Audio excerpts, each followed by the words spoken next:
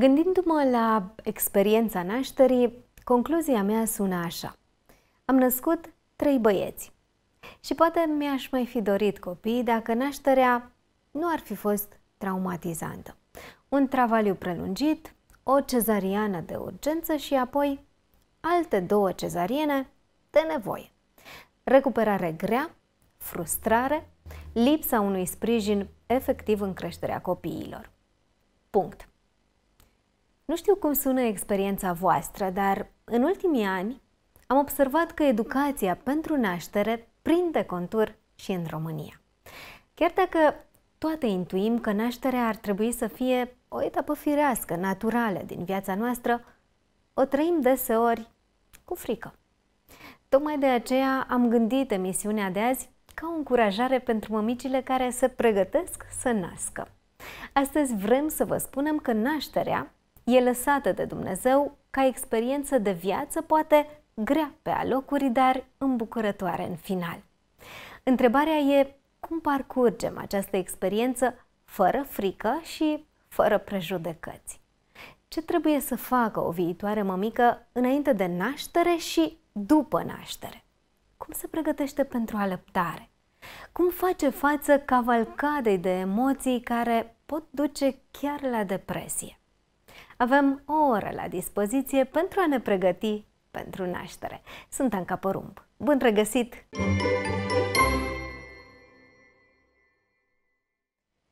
Înainte și după naștere este subiectul care ne preocupă astăzi la microfonul părinților. De aceea, împreună cu noi în studio, se află Alina Silvestru, care este psiholog, psihoterapeut și consilier în alăptare. Bine ai venit la noi în studio, Alina! Bine v-am găsit! Așadar, ne pregătim uh, pentru naștere. Hai să ne gândim la mămicile care uh, se pregătesc pentru asta și să vorbim despre ce ar trebui să se întâmple înainte, în timpul nașterii propriu-zise și după uh, naștere. Și înainte de a vorbi despre ce e bine de făcut și ce presupune practic această pregătire, Alina, tu ești mămică. Ești mămica a doi copii ai trecut prin două nașteri. Ce înseamnă pentru tine nașterea? Privită personal, nașterea pentru mine a, schimb, a însemnat schimbarea fundamentală în viața mea. Practic, e viața dinainte de a naște și viața de după ce am născut, două lucruri complet diferite, uh, două realități complet diferite. Uh, ce pot să spun este că nașterea a însemnat pentru mine o trecere. O trecere de la o viață liberă, independentă, în care uh, ce vreau să fac prima, pentru ca apoi să fac ce e necesar, ce îmi cere puiul de om, ce trebuie, ce e prioritar și dorințele personale au rămas undeva pe locul 2, 3, 4, dar dincolo de toate astea e ceva asumat. Da? E o trecere frumoasă de la viața de femeie matură la viața de mămică, pentru că viața de mămică e cea care mi acaparează acum majoritatea timpului pe care îl am. Și e bine așa? E minunat. Asta mi-am dorit nu numai că ai dat naștere la doi copii, dar te-ai hotărât să fii un sprijin și să oferi un sprijin mămicilor care nasc. Poate poți să ne povestești mai mult și despre experiența asta și de ce ți-ai asumat rolul acesta. Cu mare plăcere vorbesc despre asta. Uh, când am ales să nasc primul copil acasă, Acolo am văzut eu că ar fi locul ideal, minunat, perfect, atât pentru mine cât și pentru fetița ce urma să vină. Mi-am dat seama că am nevoie de mult sprijin. Am găsit o moașă minunată care a venit, ne-am întâlnit încă din timpul sarcinii, am povestit ce va urma. A înțeles soțul meu ce îmi doresc și mi-a fost un sprijin um, de bază, nota 10 pentru el, în timpul nașterii. Dar mai era nevoie de ceva. Moașa nu era mamă la momentul respectiv, soțul meu nu știa ce înseamnă un travaliu, era nevoie de o femeie care să fi trecut prin această experiență și care să înțeleagă nevoile celei care naște. Da, asta a fost tot ce mi-a lipsit. Și pentru că mi-a lipsit așa ceva, am decis că e cazul să acopăr eu cumva, nu că e cazul, dar a venit ca o nevoie firească, ca o chemare din adâncul meu și să acopăr eu această nevoie pentru femeile ce urmează să nască și simt uh, această dorință de a avea ajutor alături, de a avea sprijin. Dar nu ai terminat povestea. Ai născut acasă în acele condiții în care era alături de tine soțul tău și o moașă care, spuneai tu, nu era mămică? La momentul respectiv nu era mămică. Acum e mămică și ea. Da, acasă am născut. Uh, și ulterior, la câteva luni după ce am născut, s-a evit acest prilej de a deveni dulă. Nu l-am ratat. Ce este o dulă? Dula e persoana care sprijină fizic și emoțional mămica la naștere. Indiferent că e acasă sau la spital? Acolo unde spitalul permite, e prezentă și dula, bineînțeles. Și ce presupune acest sprijin? Acest sprijin presupune pregătire emoțională, pregătire fizică pentru naștere, de la exerciții, la uh, informare, la un plan pentru ce urmează să se întâmple. Uh, e cumva liantul între mămică și ceilalți membri ai familiei, e cea care îi face pe ceilalți membri ai familiei să înțeleagă dorințele mamei, pentru că uneori sunt lucruri care se înțeleg puțin mai greu de către ceilalți. Și atunci apare dula și le mai așează. e cea care în travaliu e alături de mamă, îi înțelege nevoile, o ascultă, o ajută atât cât îi se cere, nu mai mult, și e acolo pentru orice. Și cum a fost nașterea pentru tine? Acasă? Uh, la tine acasă? Alături de soțul tău? De o persoană cu care ai interacționat, bineînțeles, uh, înainte și care te cunoștea și pe care o cunoșteai? Ce ți-aduci tu aminte despre acele momente? Mi-aduc aminte că eram extraordinar de obosită. Îmi aduc aminte că îmi doream multă liniște. Uh, Ai avut un travaliu lung? Aș putea spune că da. Comparativ cu cea de-a doua naștere, unde lucrurile au fost pe repede înainte. Dar probabil corpul avea nevoie de acel travaliu lung. Nimic nu e întâmplător. Nu te-a speriat? Nu te-a blocat durerea? Deloc, nu m-a blocat nimic, doar simțeam o nevoie acută să dorm și să am liniște și căldură. Cald se pare că era în casă, liniște nu prea era. Uh, cei de alături simțeau nevoia să îmi spună glume, să râdă, crezând că mă vor încuraja, lucru care nu prea se potrivește în contextul nașterii sau în special într-o anumită etapă din travaliu. Dar a fost minunat că i-am avut alături și cu atât mai mult am înțeles nevoia unei mame în travaliu, da? pentru că am trăit pe pielea mea acel lucru. Și uite așa am devenit dula, după ce fetița mea a împlinit 6-7 luni. Uh, și uite așa am început să merg la nașteri, chemată de mămicile care mă cunoșteau, am plecat și din oraș în alte orașe, apropiate, bineînțeles, și cu fiecare experiență, cu fiecare naștere la care am participat, am simțit că se îmbogățește și că se întregește ceva în, în sufletul meu. Practic, um, experiența asta de dula e experiența care mă împlinește, cred că, cel mai mult ca femeie.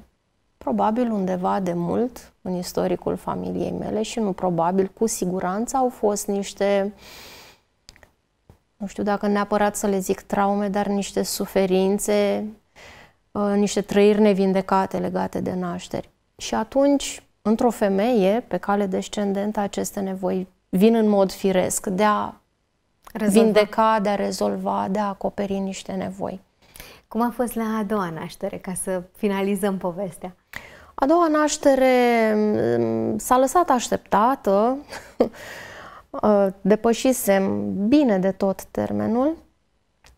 Moașa era în stand-by, aștepta să o chem. Nu mai știam când trebuie și când nu trebuie. Din că nou acasă? Din nou acasă. Deja nu mai avea rost să mă complic.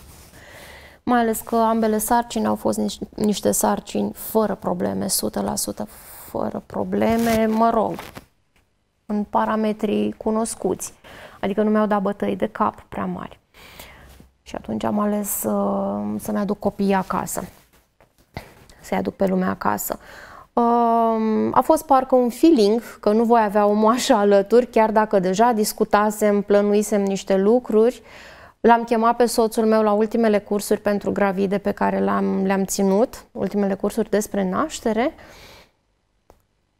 a participat, a înțeles ce era de înțeles și culme, chiar n-am avut moașa la naștere, a fost doar soțul în casă. Deci ai născut tu cu soțul Am tău. născut eu, soțul mai puțin prezent că trebuia să aibă grijă de fetița care se trezise și ea cu noaptea în cap. Și a fost în momentele cheie alături de mine și lucrurile au decurs minunat. Slavă Domnului, n-au fost probleme, în cele mai mici detalii, totul a decurs perfect. La ceva timp după ce am născut, a venit și moașa, a constatat că e totul în regulă, ne-am luat micul dejun împreună și am lăsat-o să se întoarcă la fetiță. E cu siguranță o experiență. Cred că fiecare naștere este inedită, fiecare sarcină uh, este inedită, este diferită. Ceea ce pot povesti eu nu seamănă, chiar dacă pare că seamănă, cu ceea ce ai trăit tu și ceea ce povestești tu. Uh, nu mi-am propus să vorbim despre uh, nașterea acasă, dar pentru că ai adus vorba, fiind parte din experiența ta, în ce măsură și în ce condiții recomanzi femeilor, mămicilor să nască acasă? Eu nu recomand niciodată nimănui să facă asta. N-am, uh, n-am avut uh, pornirea să spun vreodată, cred că ar fi bine să naște acasă. Asta e o chestiune care vine din inima unei mame. Mama știe că vrea acasă, mama simte că poate să facă asta acasă și atunci uh, se aliniază planetele, să zicem. Da, toate lucrurile încep să se așeze și detaliile capătă un sens. Și atunci sunt chemată. Deci nu m-a întrebat nimeni vreodată unde ar trebui eu să nasc, ce să fac, să mă duc la spital sau acasă. Nu e problema mea asta. Eu o însoțesc pe mamă oriunde dorește, dacă vrea la spital și are voie acolo, dar în contextul pandemiei, evident, nu s-a putut. Merg acolo, dacă vrea acasă, sunt acasă pentru ea. Dar ai avut deschidere? Deschiderea aceasta din partea unei instituții, gen spital, să însoțești o viitoare mamă pe parcursul nașterii? Nu, în spitalele de stat sub nicio formă nu ne este permis accesul, cel puțin în zona aceasta a Moldovei. Aici ne raportăm. Singura variantă de naștere cu dulă la spital ar fi în clinicile private, lucru care se putea înainte de pandemie. Momentan, nu. Cât despre mămici care au născut acasă, ai întâlnit, ai însoțit? Pe cele mai multe. Puține nașteri au fost cele care mm, au debutat cu travaliu acasă, apoi mami a plecat la spital și am fost alături cât am putut acasă, ulterior telefonic, prin mesaje, cu sfaturile de care a avut nevoie, dar majoritatea nașterilor au fost acasă. Uh, am vorbit despre naștere, hai să ne întoarcem un pic Sigur. la perioada uh, sarcinii, uh, care cu siguranță este unică, mai ales atunci când e vorba de prima sarcină. Cred că fiecare mămică a trăit prima sarcină la maxim, cu fiecare etapă a ei, cu fiecare lună, cu număratul săptămânilor. Cu... Cel puțin așa ar fi de dorit, da. să se bucure și să o trăiască de plin. Uh, vreau să vorbim aici despre influențele prenatale despre tot ce poate influența o mamă, pentru că după această sarcină urmează o naștere. Și după această naștere urmează să crești un copil. Și toată acea perioadă de 9 luni nu e doar despre tine și bucuria sarcinii. E vorba despre o ființă care se naște acolo și care este influențată de tot ce faci. De gândurile tale, de igiena ta, de alimentația ta, de exercițiul fizic pe care îl faci, de liniștea ta sau de agitația ta. Foarte adevărat. Um, absolut tot ce facem în sarcină influențează. Nașterea influențează bebelușul, dezvoltarea lui, uh, devenirea noastră ca mame um, și nu doar ceea ce facem noi. Se pare că și ceea ce a făcut mama noastră când era însărcinată cu noi. Da, asta spun mai nou studiile pentru că ai noștri copilași erau deja acolo, când noi eram în burtica mamei. Uh, și toate emoțiile, toate trăirile, bucuriile, traumele trăite de propria noastră mamă, le resimt copilașii noștri. Uh, contează foarte mult alimentația. O alimentație sănătoasă își spune cuvântul, chiar dacă e tot mai greu de obținut, da? dar își spune cuvântul pentru sănătatea noastră. Pentru că din ceea ce suntem, din ceea ce aducem corpului nostru, se hrănește și trupșorul care se formează. Contează foarte mult odihna noastră, pentru că la fel de bine și la fel de mult beneficiază și fătul și poate la fel de bine se va odihni bebelușul după ce vine pe lume.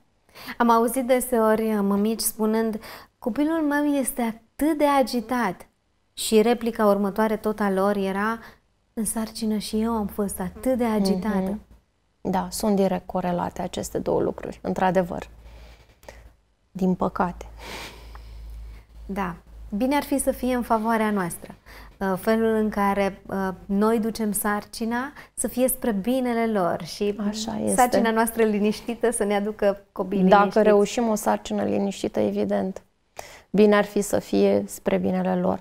Dar uh, în contextul actual, când uh, stresul e la mare putere, uneori vine să zic că e la mare căutare, dar e cel care acaparează mult din uh, trăirile noastre. De ce stresul. crezi că suntem așa de stresate? Uităm de prezent. Pentru că mereu sunt niște lucruri de făcut, fie că le facem peste un minut, peste 10, a doua zi sau săptămâna viitoare, Asta ne acaparează foarte mult. Sunt niște sarcini clare, că de la șeful, că avem uh, de făcut rapid niște lucruri pentru copii pe ziua de mâine sau peste trei zile, dar uh, încolo funcționăm. Da, astfel încât cam uit să mă opresc și să văd cum cade o frunză acum toamna și ce culori are această frunză din verdele care era înainte peste tot, ce nuanțe ruginii capătă. Uh, mi-e greu să mai aud o pasăre cântând, nu doar pentru că sunt eu stresată, dar nici mediul nu mă mai ajută. Da, de obicei aud claxoane de mașini și știu eu ce alte zgomote care nu, nici pe departe nu mă pot relaxa. Uh, și atunci e firesc. Denumim tot, tot acest nefiresc, îl denumim stres. Și Oare am putea face ceva în această perioadă? Mă gândesc la mămicile care duc o sarcină, ca în tot stresul acesta, în tot nefirescul acesta, să-și găsească o oază de liniște, să găsească, eu știu, momente de liniște, să cum să ajungă ele să se liniștească? Mm-hmm. Cred că e foarte important modul în care se raportează mamele la propria lor persoană, gravidele, modul în care se raportau încă dinainte de sarcină. Acum, cu atât mai mult, conștientizarea faptului că sunt responsabile pentru ceea ce cresc, sunt responsabile pentru ceea ce dau naștere și pentru fiecare clipă pe care ele o trăiesc. Da, pentru că nu mai sunt singure. Da. Uh, și fiecare moment trăit e trăit de doi. și nu doar de ele. Pe femeile gravide mă gândesc că le ajută foarte mult ce au în burtică.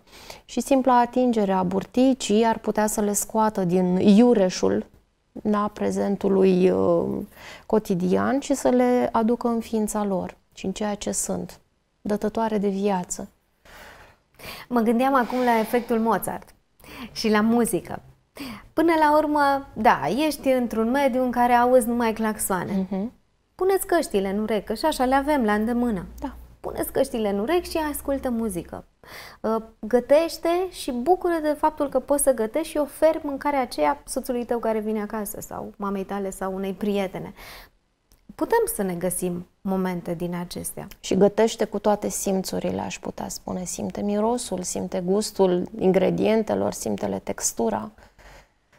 Da. Uh, vrei să spui și cu asta intenția. Că, că nu prea mai suntem uh, prezenți în ceea ce facem. Oh, totul e pe repede înainte, tind să cred că totul e pe repede înainte. Citeam de curând că dacă ne-am putea schimba gândurile, ne-am putea schimba viața. Cum e cu gândurile acestea din perioada sarcinii care influențează momentul nașterii? Gândurile astea sunt ca plămădirea unei pâini, aș spune.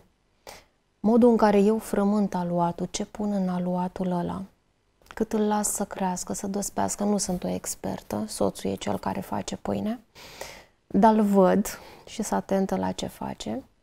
Da? Și toate detaliile astea legate de frământarea pâinii, pregătirea pâinii, contează la rezultatul final. Astfel încât ce fac în sarcină, ce gândesc, ce mănânc, cât dorm, ce respir,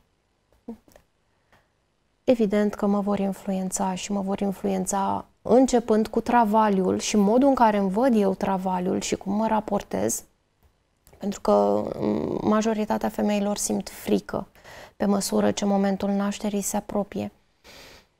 Ori conectându-mă tot mai mult la mine și la bebelușul pe care îl port, frica ar putea să dispară pentru că îmi dau seama că pentru asta am fost creată, asta pot să aduc pe lume, corpul ăsta a fost creat așa cum trebuie și pentru micile probleme care pot apărea au fost lăsați doctorii, da?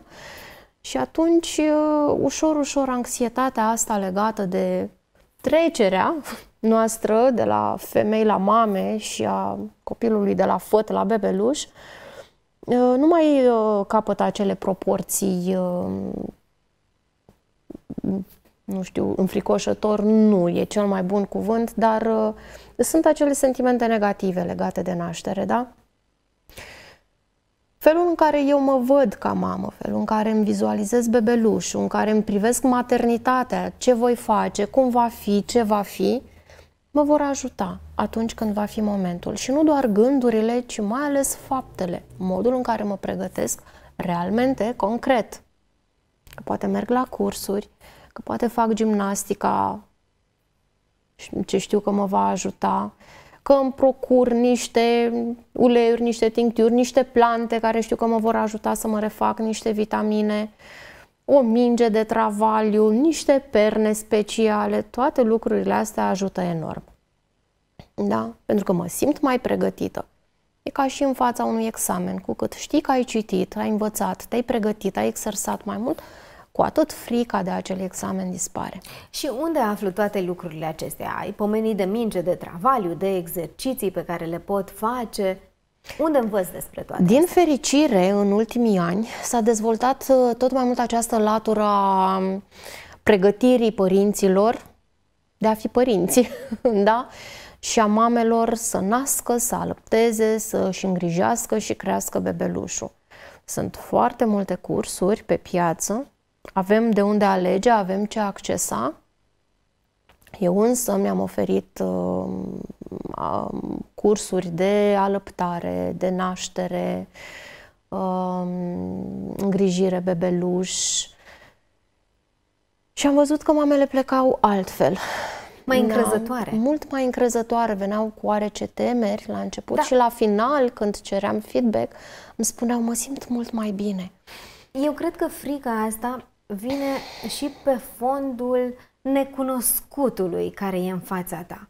Nu poți să știi ce te așteaptă și atunci te sperii, ți-e frică, pentru că efectiv nu știi ce te poate aștepta. Mai ales acum, cu atâta informație și mă gândesc acum la suprainformație. Mă gândesc la faptul că din toate părțile vin mărturii despre nașteri. Și citești fel de fel de mărturii, cum spuneam, fiecare experiență este unică. Și atunci cum să nu te cuprindă frica când vezi că se poate întâmpla și una și alta? Uh, știi, se zice că o doză de frică e sănătoasă. Da? E o reacție firească a corpului, tocmai pentru a se pune în gardă pentru ceea ce urmează. Și a mă pune în gardă înseamnă a mă informa, a discuta cu specialiști, medic, în primul rând, pentru că e cel mai specialist pe partea aceasta, Uh, și bineînțeles a apela și la un consultant în alăptare și la o dulă care e pregătită să ofere foarte multe informații, la un educator prenatal, la mămici care au avut niște nașteri împlinitoare uh, și să-mi accesez și latura spirituală din mine și resursele familiare, pentru că știu că pot găsi sprijin în familie în caz de ceva. Ori atunci încep să mă simt împuternicită, încep să-mi iau sarcina în propriile mâini, încep să-mi iau nașterea în propriile mâini și să fiu încrezătoare că, uite, după ce se naște bebelușul ăsta, cu sprijinul pe care îl primesc, pot avea grijă așa cum îmi doresc de copilaș. Și pentru că vorbim de frică, mă gândesc acum la statistici care spun că două treimi din femeile de pe glob pot naște natural, fără complicații. Uh, pe când o treime pot avea complicații care le pot duce la o eventuală cezariană. Dar dincolo de aceste complicații, e acea frică.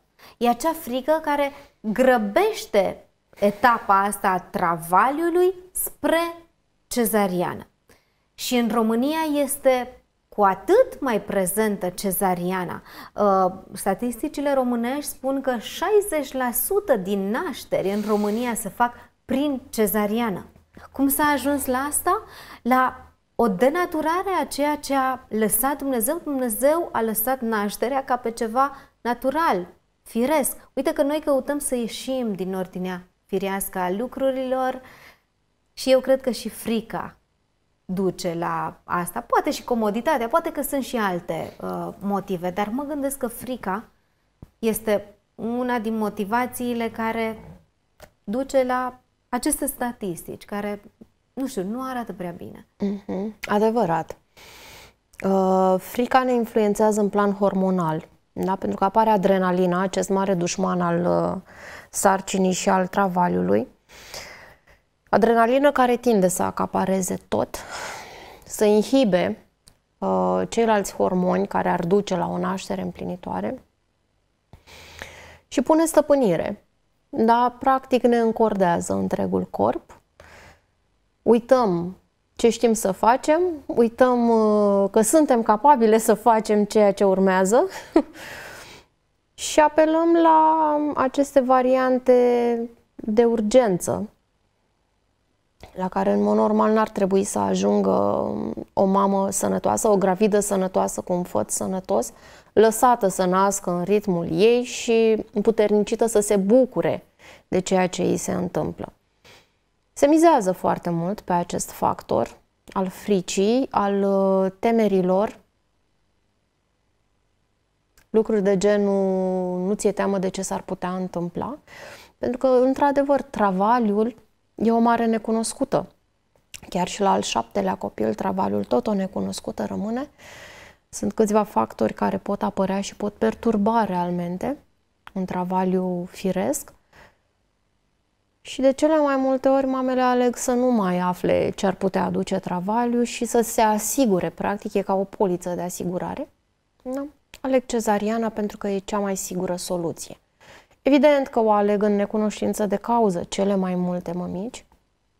Nu are nimeni răgazul să le informeze la un control medical și e de înțeles cine stă să facă mini-cursuri despre nașteri și urmările lor.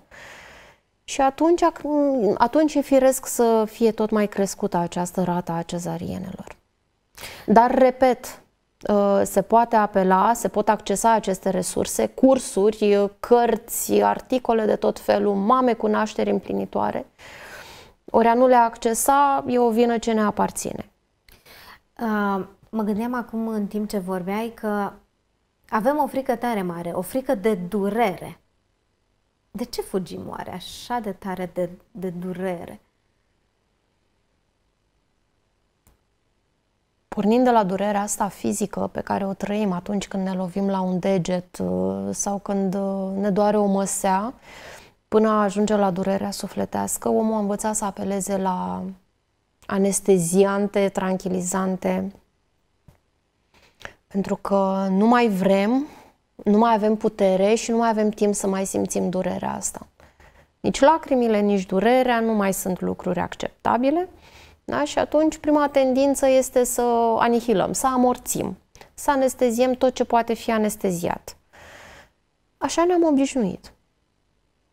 Pentru că firescul nu mai, nu-și mai are timpul lui, pentru că trebuie să fim funcționali, uh, productivi, da, și durerea nu mai e din sfera normalului. Ai avut dureri la naștere, Alina? O, da. Îți mai aduce aminte acum de ele? Te mai doare acum? Acum nu mă mai doare, dar îmi aduc aminte de ele și mi-aduc aminte cum după fiecare naștere am zis să nu mai aud eu, nu mai fac copii. Da, deși au ieșit niște copii minunați, sănătoși și eu am rămas perfect ok, dar în momentul ăla nu mai dorești să mai treci vreodată prin experiența asta. Evident că după ce lucrurile se așează, se vindecă, începi parțial să uiți de ele, se pare că uitarea asta e un, uh, un mecanism de supraviețuire a corpului pentru a putea procrea ulterior, că altfel cine ar mai face copii dacă amintirea asta ar rămâne mereu acolo și s-ar transmite și generațiilor următoare. Da, deci corpul știe să-și creeze acest mecanism de apărare și merge mai departe. Uh, da, durerile au fost mari. Am auzit uh, și de situații în care mămica a dormit în travaliu și s-a trezit pe expulzie și situații în care au simțit așa ușoară apăsare și s-au trezit cu bebe pe piept, dar astea sunt cazuri rare despre care prefer să nu vorbesc foarte mult la cursurile pe care le țin. De obicei spun travaliu doare și pregătiți-vă pentru asta. Am avut situația unei mămici care mă voia ca dula la naștere și după primele contracții s-a speriat și a cerut cezariană. După primele contracții, nu ore de contracții. Nu știu ce se aștepta, dar asta s-a întâmplat. Da, durerea face parte din, din naștere și... Și trebuie să ne pregătim mintea. mintea și mintea și pentru trupul naștere. și, în general, trebuie să ne pregătim. Evident că o moașă, o dulă, uh, știu ce au de făcut pentru a diminua aceste dureri. Sunt niște tehnici, sunt uh, chiar și obiecte care te pot ajuta să simți mai puțin acea durere, să devină suportabilă, da? să nu fie cea care acaparează tot. Tu să rămâi încă acolo, în propriul corp, în mintea ta și durerea să fie parte acceptată, integrată și știi că după acea durere urmează niște momente extraordinare. Uh, bun, am înțeles că avem treabă, adică micile care se pregătesc să nască, au o treabă de făcut. Toată sarcina nu e despre a-ți uh, împlini poftele, cum uh, se spune uh, în popor, ci despre a-ți pregăti corpul, a-ți pregăti mintea, a te pregăti tu pentru că urmează să aduci pe lume un copil. Hai să ne referim acum și la momentul nașterii. E durere, E clar că este durere. Pentru cele mai multe mămici spuneai că sunt cazuri excepționale când nu este durere. Dar ce trebuie să știe o mamă despre acel moment al nașterii? Că momentul ăla e cea care e cel care o va transforma în mamă. și e momentul premergător uh, ținerii în brațe a bebelușului. Și că ceea ce îi se întâmplă e normal, dar ca să înțeleagă normalul ăsta, poate n-am punctat puțin mai devreme, e nevoie de integrarea unor emoții din trecut. Emoții de teamă, uh, frică, Uh, ce înseamnă durere, ce înseamnă traume, ce înseamnă relații uh,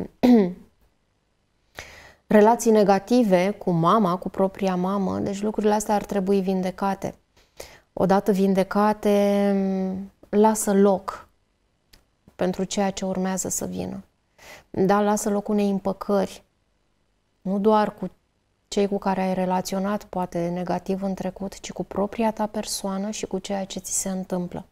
E o împăcare firească și o acceptare din uh, partea asta de pregătire pentru naștere, eu, ca și psiholog, de altfel, pun foarte mult accent pe consiliere sau psihoterapie pentru mame.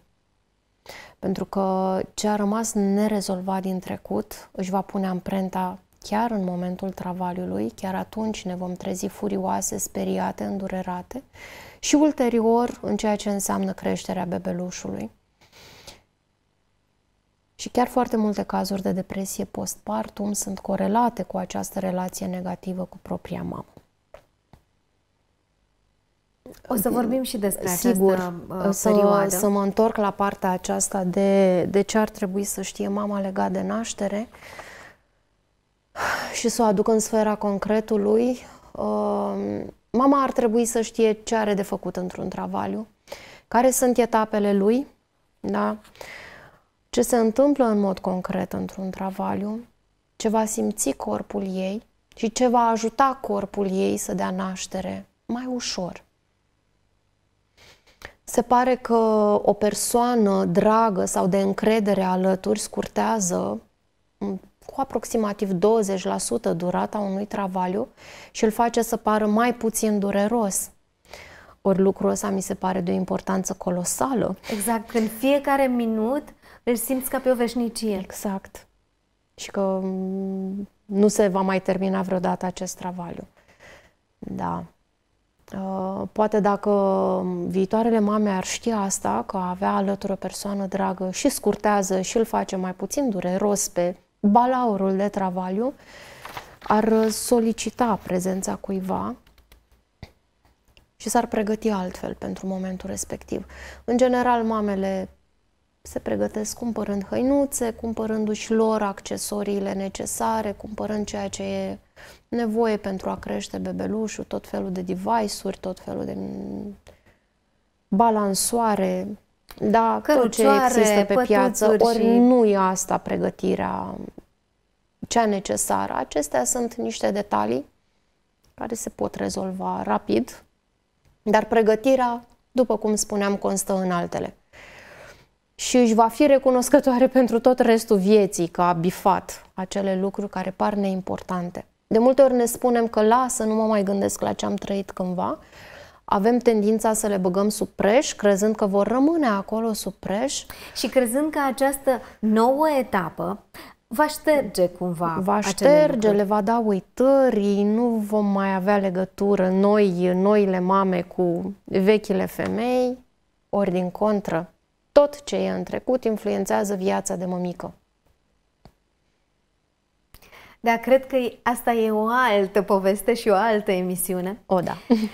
da, sunt multe de spus și aici. Uh, hai să rămânem la momentul nașterii.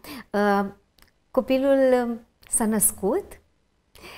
Ce, ce să ceară mămica de la medicul care este acolo, de la moașa care este acolo? Uh, contactul piele la piele, să-și ia copilul, să-i vorbească, ce să-i vorbească, cum să-l ia. Ce îi spui unei tinere mămici? În ultima vreme, mamele sunt tot mai informate pe partea asta de ce ar fi sănătos pentru bebeluș imediat după naștere. Au aflat despre ora magică, au aflat despre beneficiile skin to skin, contactul piele pe piele. Și, da, eu nu știu despre ora magică. Eu sunt o mămică din vechea generație. Spunem și mie ce cu ora asta magică. Uh, după ce se naște bebelușul, uh, toate procedurile ar trebui amânate, bineînțeles, atunci când uh, semnele bebelușului sunt optime, da, semnele vitale sunt optime și nu prezintă probleme, ar trebui imediat pus pe burtica mamei. Să-i simtă căldura, să-i simtă mirosul, și se pare că în mod instinctiv, nu se pare, chiar așa se întâmplă, în mod instinctiv bebelușul începe o cățărare spre sânul mamei.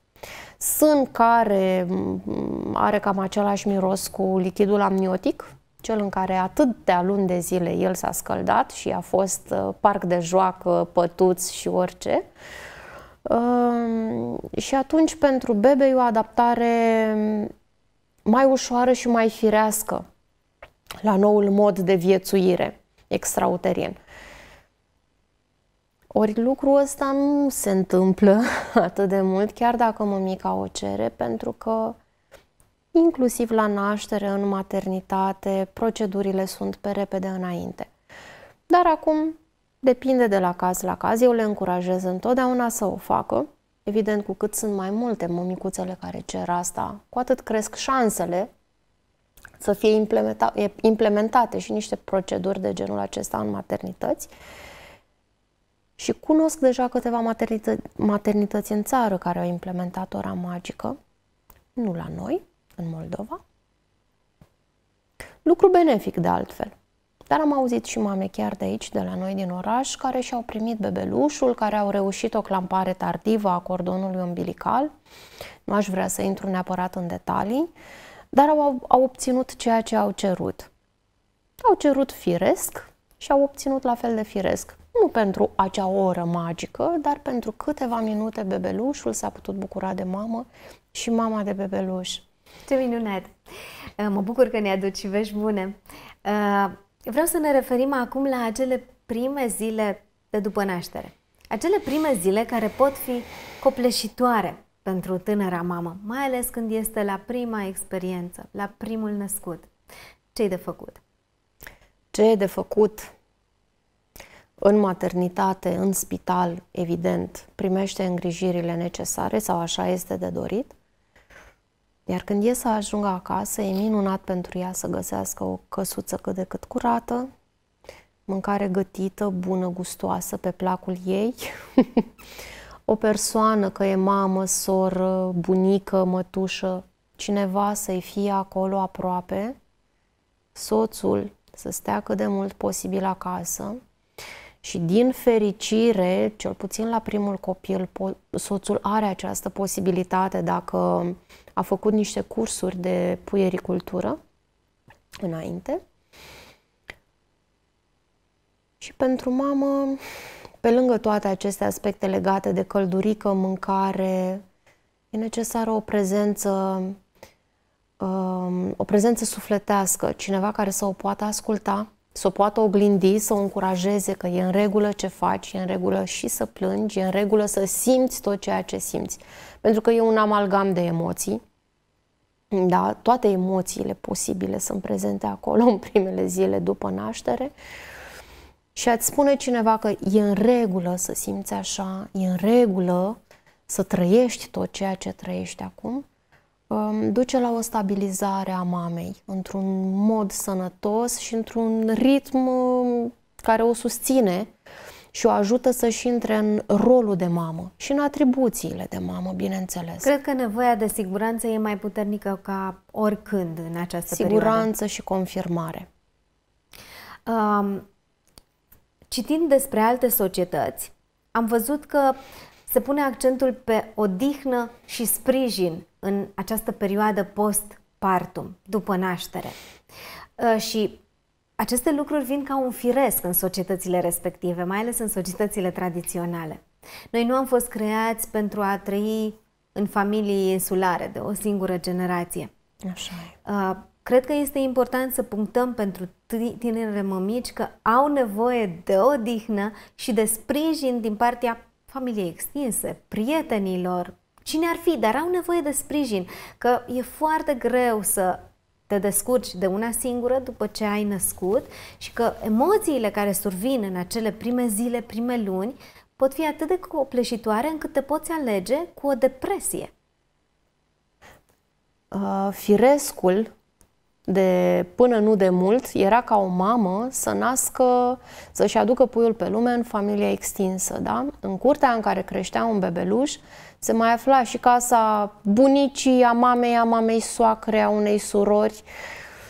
Și atunci uh, era inevitabil ca tânăra mămică să fie înconjurată de alte femei.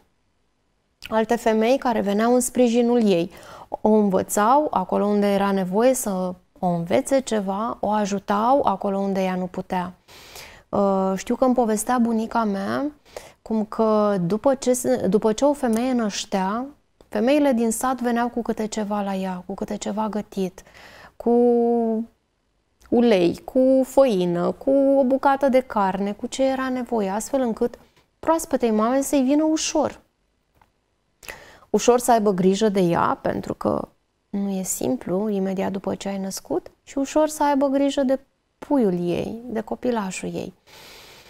Uh, sprijinul acesta, atât alimentar, pentru că e nevoie de o anumită alimentație, nu putem mânca orice imediat după naștere. Pentru că vrem să și alăptăm. Pentru că vrem să și alăptăm, e nevoie de un aport nutritiv crescut, da? de o hrană bine, atent aleasă, care să mă hrănească, nu doar să umple burtica, ci realmente să aducă corpului meu tot ceea ce a pierdut și ceea ce mai are nevoie ca să-l crească și pe cel mic. Da? Uh, cum spuneai, în alte culturi, mamele sunt realmente răsfățate și am văzut multe filmulețe de genul în care pur și simplu uh, sunt tratate ca niște regine, îmbrăcate în niște haine deosebite, hrănite cu mâncăruri alese, uh, îmbăiate. Și asta, culmea, în societăți pe care deseori le considerăm înapoiate. Și care nu ridică femeia la un rang uh, prea bine văzut culmea, într-adevăr. Dar uh, nevoia asta există și, din păcate, traiul acesta izolat, da, cu ușile închise într-un apartament, nu prea ne ajută. Mai ales în contextul în care foarte multe cupluri spun nu avem nevoie de nimeni, noi doi ne descurcăm și ne creștem copilul. Uh, atunci când nu se poate altfel, ok, facem asta, ne creștem doar noi doi copilul. Dar mereu subliniez și mereu încurajez viitorii părinți să apeleze și să acceseze orice resursă posibilă. Dacă nu mai sunt mamele în viață, poate e cineva, o soră, o mătușă, oricine care să-i poată ajuta să gătească. O persoană care să-i ajute la curățenie. Cineva care să poată face cumpărăturile dacă tatăl nu se poate ocupa în primele zile de așa ceva orice ajutor este absolut binevenit. O prietenă care poate a născut și înțelege niște treburi și poate veni să spele niște vase. Da? Dau așa niște exemple, dar care ajută enorm o mamă. Și dacă ești prietenă sau ești în apropierea unei persoane care a născut, fii tu sprijin. Poate persoana asta, mămica asta, proaspăta mămică, nu îndrăznește pentru că suntem o societate uh, închistată și nu prea cerem ajutorul. Tu te și ofereți ajutorul. Va fi binevenit. O, Doamne, da, bine, binevenit, bine primit. Uh, trăim în societatea vedetelor de copertă, da, care dau impresia mereu că se descurcă perfect, casa e lună, curată, totul e cu danteluță roz sau bleu, copilul nu plânge, doarme, mănâncă, nu suferă de niciun fel de disconfort, mama are timp să se dușuiască, să se macheze, poate chiar să meargă la sală. Sunt doar lucruri de copertă de revistă, da. Nu am văzut încă mămici cu bebeluși perfecți care să facă totul perfect, nu. Lucrurile astea nu există decât cu foarte mult ajutor. Da? Deci a mă descurca eu singură și a mă descurca perfect eu singură e doar o utopie da? și o dorință nerealistă care realmente mă poate duce la o dezamăgire, asta pentru că m-am amăgit singură înainte da? și e firesc să apară și dezamăgirea. Ce e mai rău este că după dezamăgire apare acea depresie. Da, pentru că văd că, de fapt, eu nu pot face lucrurile așa cum mi-am închipuit că le-aș putea face. Uh, nu mai arăt atât de bine pe cât credeam eu că aș putea arăta. Da, nu sunt acea mămică cu tăliuța impecabilă care plimbă căruțul cu un bebeluș dormind sau gângurind liniștit.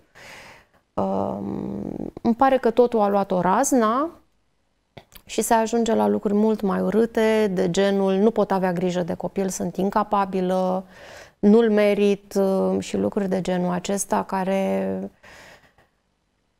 practic duc la o disproporție completă între realitatea, ceea ce am putea face ca mame și ceea ce gândim Că nu mai Așadar, putem. cereți ajutorul. Asta Neapărat. este mesajul.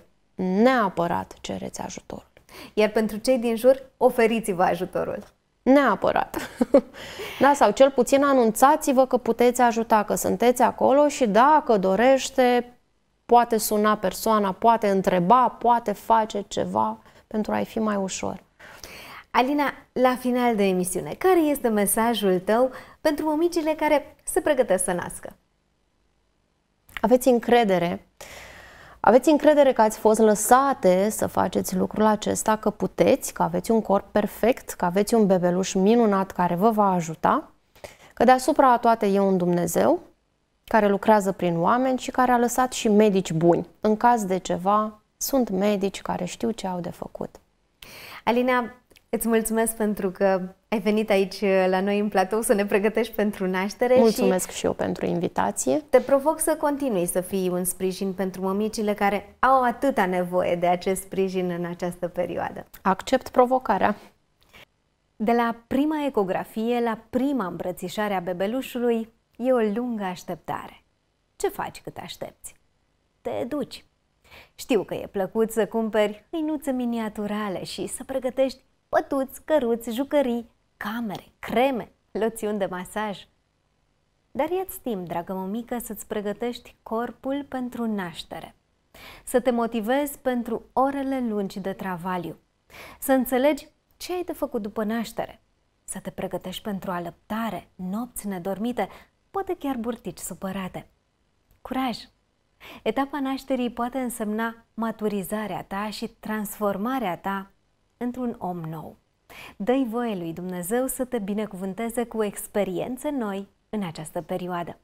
Sunt Anca Porum și vă aștept cu sugestii și întrebări pe adresa de e-mail microfonul părinților arondproiectem.ro sau la numărul de telegram 0746 178 178. Dacă emisiunea v-a fost de folos, distribuiți-o pentru a le veni în ajutor și altor părinți. Până săptămâna viitoare, numai bine!